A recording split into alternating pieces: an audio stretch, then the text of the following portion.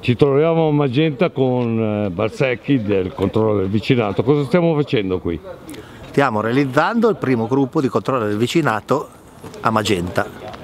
E in questo momento a Magenta com, com'è la situazione del controllo del vicinato? Beh, appena partita ci sono già, da quello che so io adesso non sono proprio del tutto a corrente perché ci sono state delle ultime eh, richieste dovrebbero essere sui sei referenti, dovrebbero essere quattro vie, con sei referenti e hanno aderito penso su una cinquantina di, di, famiglie, forse un centinaio, non, non, ho di preciso le notizie però è quella, cioè sicuro. Questa è la diciamo, prima via? Questa è la prima via, via Cavour, via Cavour. Via Cavour sì. e poi ce n'è altre due che però scusate ma non sono al corrente adesso di questa cosa. Diciamo che comunque chi ha aderito eh, per il controllo vicinato in questa via sono circa il 60% delle famiglie che è la regola per far partire una zona di controllo del vicinato e tutto ciò significa che d'ora in poi eh, si avrà più un senso di sicurezza nella zona, eh, sia nell'ambito de della sicurezza nel caso dei furti o quant'altro, sia nel decoro urbano. E se qualcuno vuole prendere informazioni avete un sito internet? Yes, che è eh. www.controllvicinato.it oppure per Magenta quello di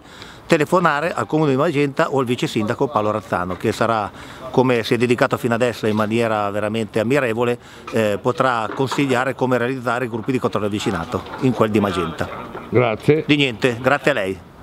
Ho perso, perso il primo? Allora, i gruppi, i gruppi, sono due. Quello che dicevi prima, esatto. In Uno via... qua in via Cavour, sì? questo tratto, e in via Diaz, il tratto Alla, iniziale. Via, via Diaz all'altezza dice che incrocia con... Fino al parcheggio, dall'ingresso fino al parcheggio. E, ehm, sono, abbiamo presentato il protocollo messo a punto dalla dottoressa Porta. Quanti sono? sono che... allora, I referenti sono due di questo gruppo e una famiglia del gruppo di Via Diaz okay. e ha aderito eh, qua una quarantina di persone e in Via Diaz anche lì una cinquantina di nuclei familiari. Nuclei familiari. Vuol dire 90 nuclei familiari? Sì, un circo. Un circo. Però moltiplicato anche per una media di 2-3 persone, giusto? Sì, perché sono famiglie. Ovviamente. per cui Ovviamente. 90, cioè, la, speranza fare, esatto, esatto. la, speranza di fare, tutto questo cinema è che anche... Che banalmente a turno sono coinvolte, quindi eh, ispezionano, sorvegliano... No, nessuno fa ronde. Okay, quindi... Okay, sono solamente osservatori. Sono solamente segnalazio segnalazioni e informazioni che vengono date alla polizia locale? No, soprattutto alla comandante della polizia locale che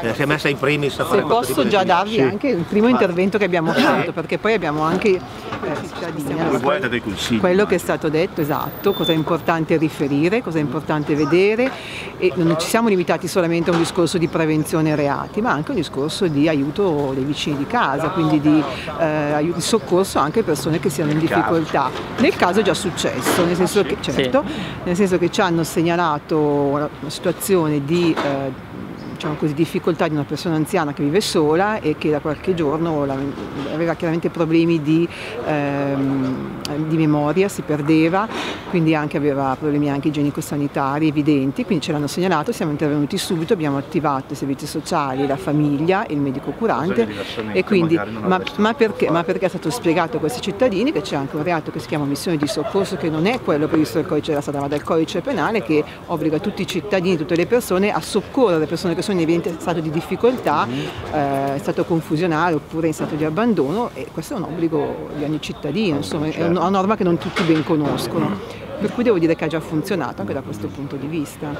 Mentre per quanto riguarda invece la prevenzione di furti o intrusioni, lì invece cosa avete consigliato? Abbiamo chiesto un'attività di osservazione, abbiamo anche spiegato cosa comunicare ehm, anche telefonicamente. Mm Abbiamo anche raccomandato, se vedono auto, di fotografare possibilmente le targhe perché memorizzare non è semplice, mm.